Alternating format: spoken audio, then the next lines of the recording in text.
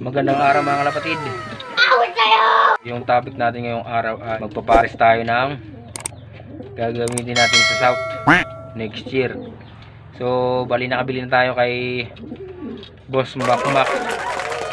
Boss Makmak, shoutout nga pala sa'yo ng Insha at DBHA. So, si si Boss Mac yung nag nag-aasikaso pag nagpapalaro. So, magpipili tayo dito ng kalapati na pagpaparisin natin para sa South mga kalapatid. Gagamitin natin yung mga inakay nila para sa next year na race, South Derby race. So, pipili tayo dito ng pagpaparisin natin kung ano maganda. Siguro, meron na ako nakita kanina pero bahala na kung tatalab yung pag-prepare sa kanila no? So comment na lang kayo kung maganda yung pag-prepare natin dito. At kung anong gusto nyo mga pwedeng i-pair titignan natin kung maganda yung kalalabasan. So tara samahan nyo kung magpili dito mga kapatid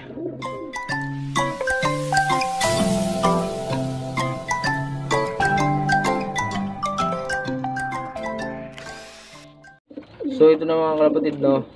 Isang kak lang yung pipiliin natin. Tapos hahanap tayo ng papare sa kanyang hen. So yung hen yung pipili tayo sa mga hen dito kung ano yung maganda ipare sa kanya. So ito yung kak papakita ko muna sa inyo. So A few moments later. So ito mga kapatid yung kak natin na hanapan natin ng i-prepare sa kanya na hen. So ito yung mga kapatid. Oh.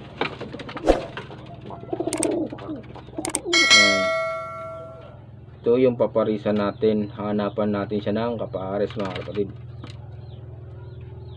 Ito. Ganda mga kapatid. Old siya. Pero ang katawan niya ang ganda. Ah, grabe. Tas.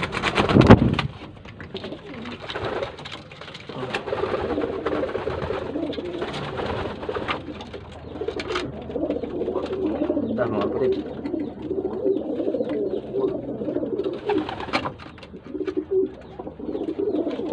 So ito yung hanapan natin ng pares. Ang ganda mata.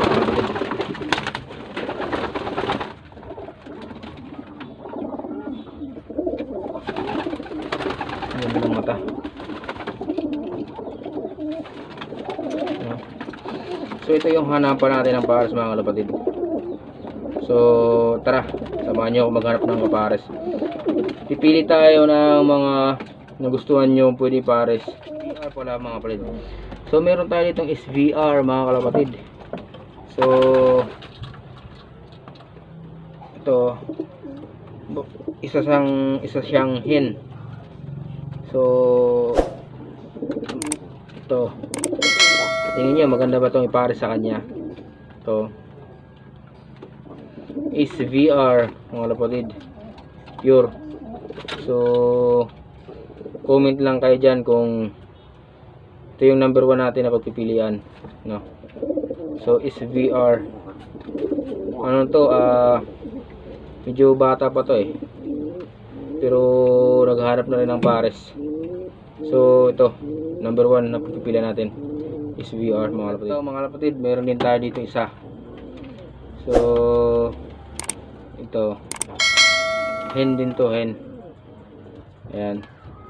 So kung gusto nyo rin tong gusto nyo rin itong ipares doon sa eh, ano natin, sa kak natin comment nyo lang. So ito yung number 2 na pinapipilian natin. Ito yung pangalawa sa SPR mga kapatid. So maganda rin ito mga kapatid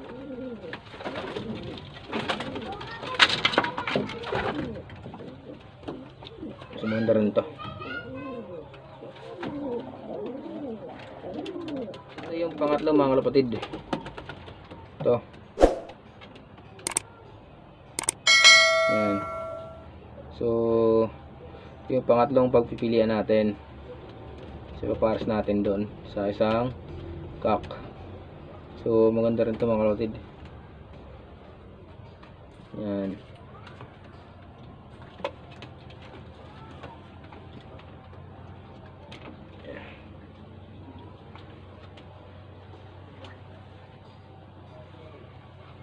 So, comment lang kayo dyan mga kapatid kung ano yung gusto nyo. Ah, kung sino yung pinakamaraming boto, yun yung papares natin. So, ito yung ng- pang number 3 mga kalapatid. Yung last ito, mga kalapatid. Ito yung last na pipilian. So, kung gusto nyo rin to, comment nyo lang. Ganda rin ito mga kalapatid. Ito. Yan. Hen, mga kapatid. So, ready to pair na rin to mga kapatid. So, ito. Yan. So, comment lang ang pinakamaraming boto, yun yung prepare natin doon sa natin na gagamitin natin yung mga anak nila sa South Cerberus. So, bumili na pala ako ng dalawang pirasong ring. So, salamat pala kay Boss Makmak. So, baka next, ano, dalagdagan natin yung ring natin. So, umpisa na pala yung North Road Training namin ng Ensha at DBHA. So, sana supportahan nyo. At, sa mga bagong viewer natin dyan, huwag kalimutan na mag-subscribe. I-click yung ah, notification bell para lagi kang updated sa mga bago nating video. So, hanggang sa muli. Dito tayo. Bye-bye.